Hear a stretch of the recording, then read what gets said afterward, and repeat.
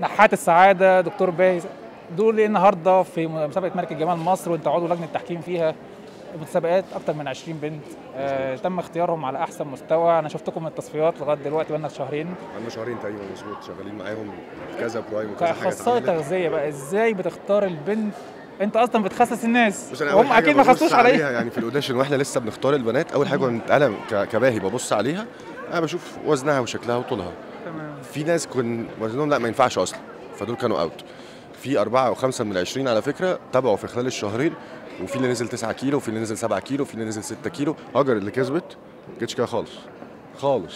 ده ده ده, ده حصل لا ده, ده إحنا هننزل لها أصلا حاجة كده إن شاء الله من شهر بالظبط كانت واحدة ثانية تماما 8 كيلو نازلاهم فال queen نفسها عملت كده. الخمسة اللي كسبوا شروق برضو نازلة 9 كيلو. آه هاجر نازلة 7 كيلو. مي زي نازلة حوالي 7 كيلو برضو أو 8 كيلو. فكل في أربعة خمسة؟ لا تابعنا معاهم واشتغلنا معاهم كويس جدا.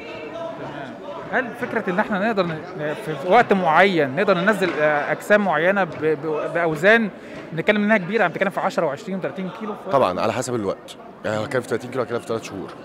ده لو أنا مستعجل. إحنا ده الكلام ده من غير رياضة إحنا بس نظام دايت غذائي فقط. نظام أكل. من غير حتى ما أظبط يوم يعني اليوم بايظ وبينام متأخر وبيصحى متأخر الكلام ده كله نص العمى ولا العمى كله.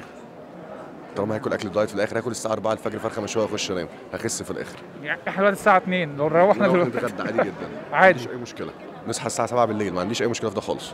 مش لازم أشقلب حياتي اللي قدامي عشان أوصل لحاجة كويسة. لو شقلبت له حياته ألاقي أسبوع التاني مش موجود أصلا معايا.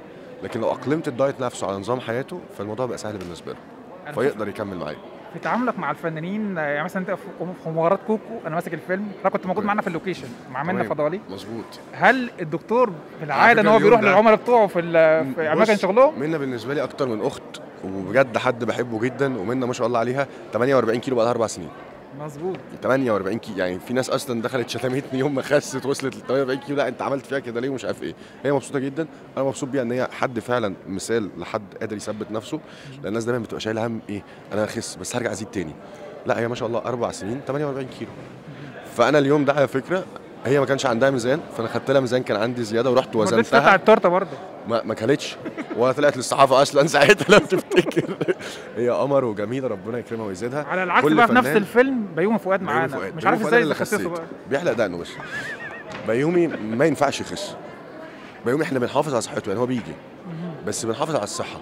هو عايز الكاركتر كده وهو مبسوط بنفسه كده. بس هل هو حاسس لو خس وشكله هيتغير ممكن الناس ما تقبلوش مثلا ك ممكن. بس عندي مثلا مثال تاني محمد علي رزق. آه طبعا حبيبي. كان ده 127 دفعتي كيلو إحنا بنتكلم دلوقتي في 90 كيلو ما شاء الله.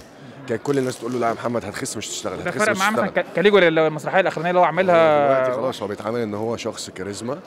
غير الشخص الأولاني كان دايما في الأدوار في الكوميديا. ال character الأولاني. الاثنين حلوين فيه وهو جدع وجميل. بس تحوله ده حطه في حتة تانية خالص حطه في level تاني خالص.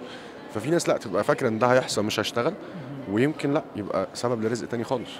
بس هو شخصية بيومي فؤاد مع شغله شغله متعب جدا. أنا بحاول دايما أحافظ على صحته. صحته كويسة بياكل أكل كويس ممكن يلخبط شوية. مش لازم نخس هو مبسوط بنفسه هو مبسوط بال character كده. نحات السعادة ينصح إيه البنات اللي تتفرج علينا النهارده وهم شايفين ملكات الجمال والوشوش الحلوة والجسم الكويس؟ إيه النصيحة اللي تديها لنا في الجون؟ إحنا في آخر الصيف داخلين على الشتاء والناس بقى تاكل. وبتاع يعني فيعني الناس خلاص الصيف بيخلص فإحنا بنبتدي في أول الشتاء كده إيه نلم اللي حصل في الصيف كله. نصيحتي لأي حد بلاش تجتهد أنت لوحدك وتحاول تخس لوحدك وتجيب دواء من صاحبتك وتجيب دايت من على النت وتعمل مش عارف إيه. روح لحد أنت واثق فيه سلمه نفسك لأن الحد ده هو ده شغله. يعني أنا عايز أجيب أبني عمارة. أنا مش هقعد أبنيها وأدرس الهندسة عشان أبنيها. أنا أجيب مهندس أقول له عايز أبني عمارة. طب أنت عايز تخس؟ هتروح للي بيخسس تقول له أنا عايز أخس. هو يتصرف. نروح ليه؟ حضرتك موجود بس كده. تنورني حبيبي. نورتني وبالتوفيق. دايما يا رب. راسي دايما منورين الدنيا كلها. الحفلة جميلة دكتورة آمال طبعا لازم نشكرها المنظمه العظيمة دي إن يبقى في حاجة في مصر تشرفنا بالشكل ده بجد أنا فخور حاجة بتدعم السياحة. ومجهود. خرافي حفلتين في حفلة واحدة كمان لسه هنشوفها لما بيطلعوا. يعني مع ال 55 دولة تلاقي البنت المصرية واقفة في وسطهم تشرف فبجد شكرا دكتورة آمال شكرا لحضرتك شكرا ليكم منورين. الدنيا كلها